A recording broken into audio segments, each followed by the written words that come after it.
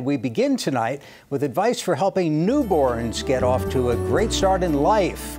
Joining us for this week's Your Health segment are Jenifer Fahey, Assistant Professor at the University of Maryland School of Medicine and Certified Nurse Midwife at the University of Maryland Medical Center, and Cheryl Holden, Senior Nurse uh, clinical nurse and lactation consultant, University of Maryland Medical Center. Thanks to both of you for being here. Thank you for having us.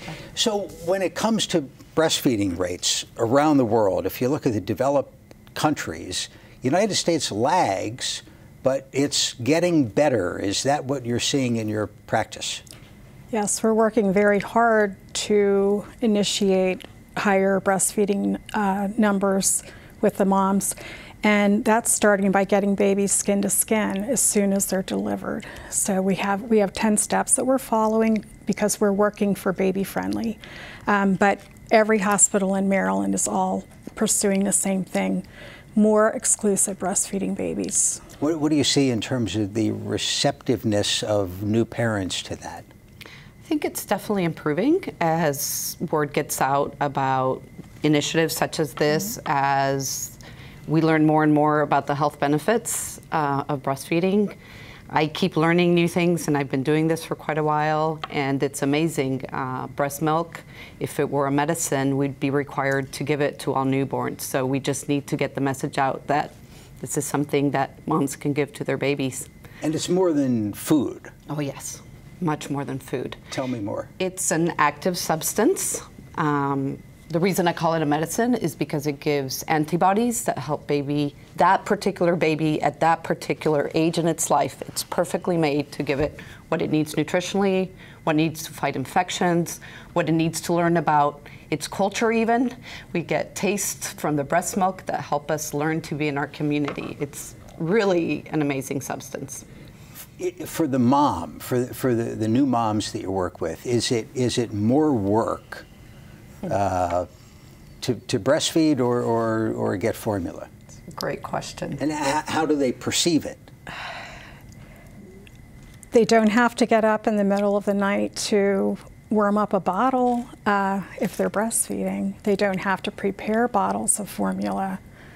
Um, and it's definitely good for the environment, not throwing formula cans away. I think that kind of thing. There's a there's this idea that sometimes parents have that they're going to have to work more if they breastfeed because it's something that the mom's doing. But as it turns out, on average, um, a new study found that breastfeeding moms sleep 45 minutes longer than moms who are formula feeding. Well, that's important. Yeah, so sleep is extremely important.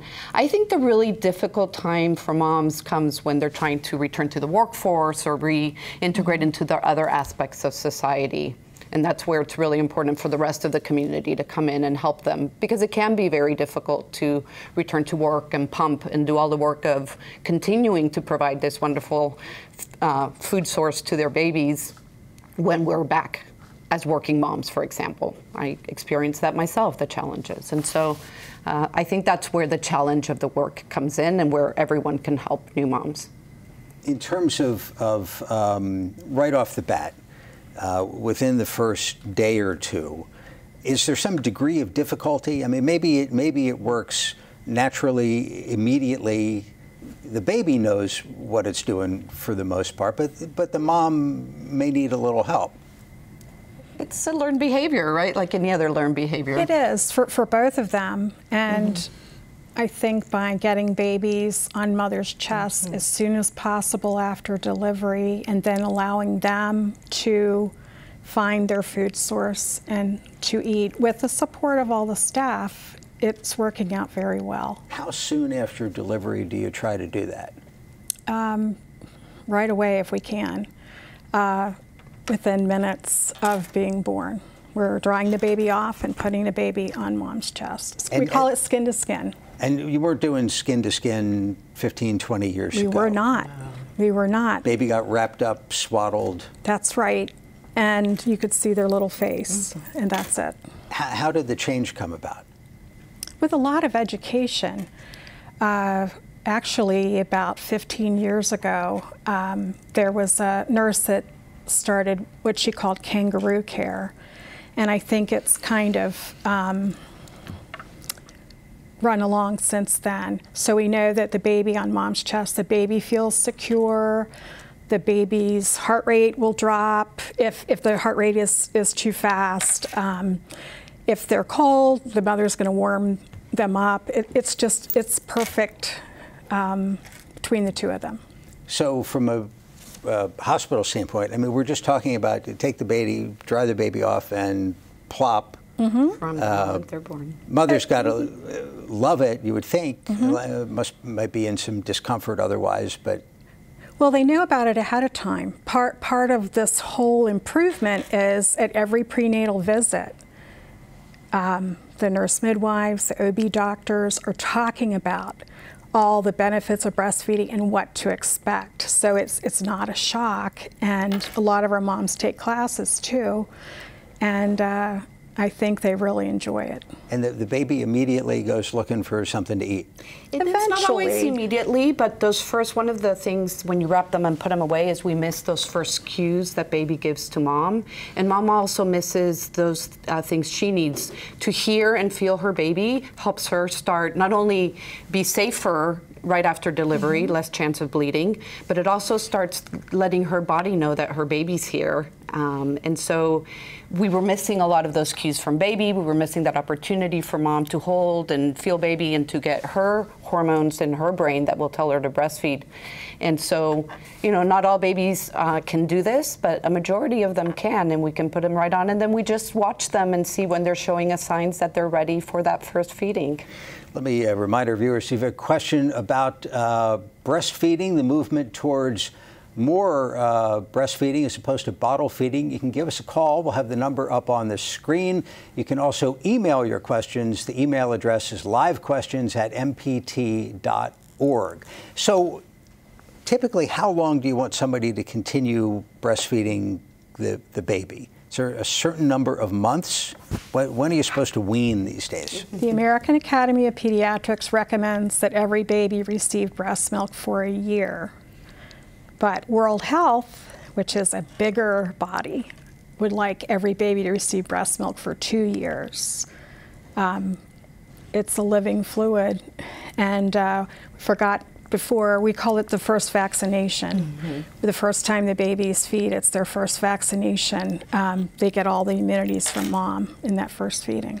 You, you, mentioned, one of you mentioned that modern society isn't totally in sync with this. If you're going back into the, the workforce, uh, any improvements in, in the, you know, the systems for, for pumping, storing, and all that?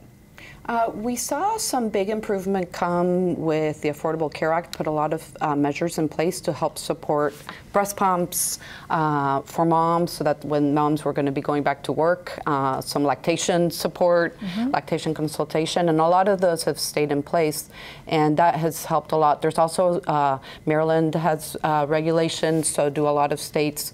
about supporting women, giving them breaks to breastfeed. And so it doesn't apply to all employees, and some women that are working uh, certain jobs might not benefit from those, but there's definitely a lot more now than there used to be to support women. As a society, how, how do we feel about it? Do, do, does society feel about this the way that, that you would like? I think there's a lot of discomfort with the act of breastfeeding. And I think it's probably from lack of knowledge, and we have grown up in a society that is a bottle feeding society. So we, we, we try to make everything prepackaged, branded. Yeah, definitely, definitely. So people know that that's what the norm is for them, and they are uncomfortable around mothers that are breastfeeding sometimes. Right, and we've seen that there was some picture going around on Instagram today of a celebrity who was was breastfeeding. So there was the issue with the exposed, partially exposed breast, which makes some mm-hmm. people uncomfortable. But she was also holding a glass of wine, which is something I wanted yes. to ask you about. If if you're a breastfeeding mother, do you have to be more careful about what you eat and drink and smoke, perhaps, uh, than otherwise? De- definitely. Um, if you read that article, they quoted American Academy of Pediatrics and they said that they would like you to not drink that glass of wine, of wine one to two hours before feeding the baby. So, so feed, feed the baby, then have the glass exactly, of wine. Exactly, exactly. Um, um, and I, I, like to say to women that they often there's a lot of things they can't they can have very full diets. Uh, mm-hmm. You know, one glass of wine is different than some other things that we could put in. So it's all about making sure that you're in communication with lactation experts or with your pediatricians to know what's safe. Women don't have to have perfect diets. They don't have to be in perfect shape. Uh, yes, we need to keep drugs and certain substances have to be out of the milk because those could be dangerous, uh, including ones that sometimes we prescribe. We have to be careful to make sure uh, we know a mom's lactation status. But I like to remind women that they, you know, this doesn't have to change their lives as much as they might think to be able to successfully and safely breastfeed their babies. The, the other point worth making in, in support of breastfeeding is on the other end of the digestive system that, that uh, yes. breast milk digests almost perfectly. I mean, it's mm-hmm. designed, the body, both uh, systems yes. are, are designed for that. And when you do change to formula or certainly solid food, uh, put this simply, the diapers get a lot smellier. Yes, they do. And there's a lot of things talking about that end about our gut flora that we've learned. And so that's one of the things we've known breast milk is the best food, but we're still learning about why. And one of these things that has emerged is from breast milk, uh, baby gets about a third of its gut flora. And we're understanding that now has impact on risk of getting diabetes, obesity, even hypertension. And so what we call the microbiome of the gut is seeded uh, in great part by breast milk in a way that it's not with formula. So that end of the gut is also stinky diapers and. Let's grab a phone call. Uh, Prince William County, this is Holly. Holly, thanks for the call. Go ahead. Hi, I have a question for the ladies. Um. I'm interested when a child or newborn is um, not taking breast milk properly. Like they get very bloated, very gassy, very uh, stinky, smelly diapers, possibly slight hives. Does this mean that the child is allergic to breast milk or lactose? Is this an early sign or signal of a lactose intolerance in the child? And should I be maybe moving to like a soy alternative? Holly, thanks for the phone call. How often do you see that? Um, pretty, pretty I can't think, maybe 5, 10% of moms may experience something like this. And a good recommendation is to go back to your pediatrician mm-hmm. and uh, possibly even see a peds GI doctor because it may not be lactose, mm-hmm. it might be dairy products, um, but the pediatric doctors will help you figure out what it is. But definitely not going to a soy formula. Um, that's just as allergic as, as dairy. What, what are the top issues that a lactation consultant sees? Um, I mean, it must see the same. It, be a, it, must be a lot of new mothers, I'm guessing. Yes, yeah. First time mothers. First time mothers, uh, inability to latch, um, sore nipples, or babies are biting um, when they get a little bit older. Um, and women fear that they're not producing enough milk to feed their baby because That's it's perfectly obvious when the bottle's empty. Exactly.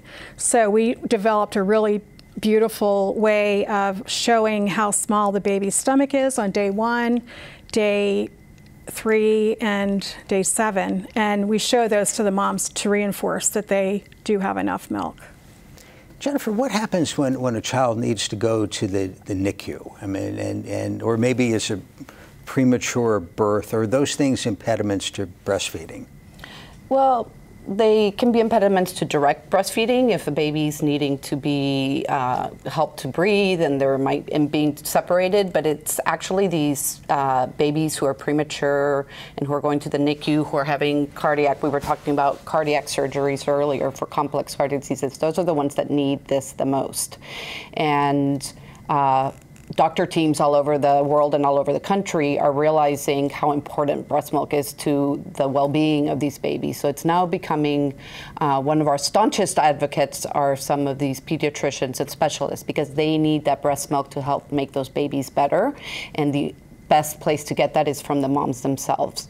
There's banks and other things, but the ideal source is the mom, and then as quickly as possible, getting them together as well, and hopefully eventually breastfeeding directly. But the milk is essential for these babies. Mm-hmm. I guess there, there's a feeling in society that we can improve upon anything. We have the, the science, we have the, the technology to do it, and maybe that was part of the, the big movement away from from breastfeeding. But but now maybe we know more, and there's the move towards natural foods of, of all kinds. Does that help? I believe so, it, but it's just the perfect food for human babies. There, there's no argument at all. It, it, it's just the right food.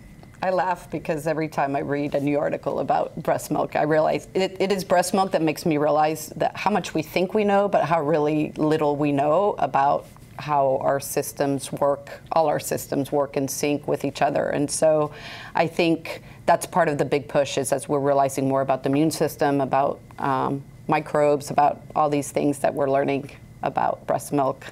Um, that's helping reintroduce it, I guess, getting back to basics. Jenifer Fahey and uh, Cheryl Holden, both University of Maryland Medical, thanks for spending time with us. Thank, Thank you. Your health segments are a co production of Maryland Public Television and the University of Maryland Medical System.